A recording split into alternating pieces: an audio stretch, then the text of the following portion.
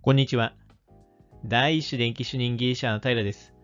今回は以前紹介した電検2種二次試験受験者向けの新しい講座の開講日や受講料が公表されたので紹介をいたします。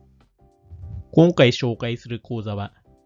前田隆文の実用電力講座ざくっとわかる電力系統です。こちらの講座は電検二次試験の電力管理科目の勉強に活用できる書籍、電力系統過去第2課をもとに、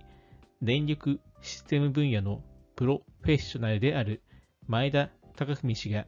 電力系統の全体像が理解しやすいように、全3部に分けて講義を行います。そして、各部の講義のうち、第1部電力系統と受給品質では、電力系統の構成から各種電源の発電原理、設備の回路、電力の品質などについて学ぶことができ、また、第2部自己現象と保護、安定運転では、電力系統の自己現象、事故が起きた場合の保護、電力の安定性と対策について学ぶことができ、さらに、歩行では次世代の電力システムについて学ぶことができ、電検一種電気日種二次試験電力管理科目の対策に有効的な講義です。なお、こちらの講義の内容について、さらに詳しく知りたい方は、概要欄のリンクの動画をご参考ください。では、以前の動画で公表されていなかった情報をご紹介します。はじめに、販売開始日は2024年7月22日月曜日で、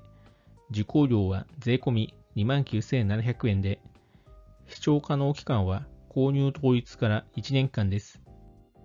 また、動画時間は各講義それぞれ、第1部が約12時間、第2部が約11時間、歩行が約1時間です。ちなみに、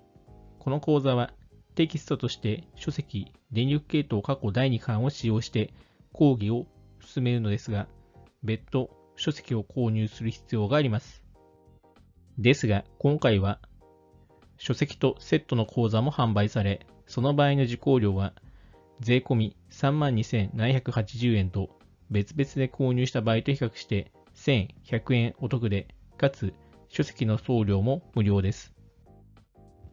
以上、以前紹介した電検日種二次試験受験者向けの新しい講座の開講日や受講料が公表されたので紹介をしました。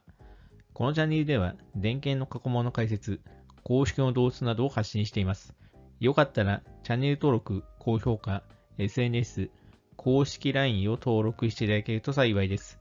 また、メンバーシップも行っているので、興味がある方はご加入ください。これからもご利用をよろしくお願いいたします。今回の動画は以上です。ご視聴ありがとうございました。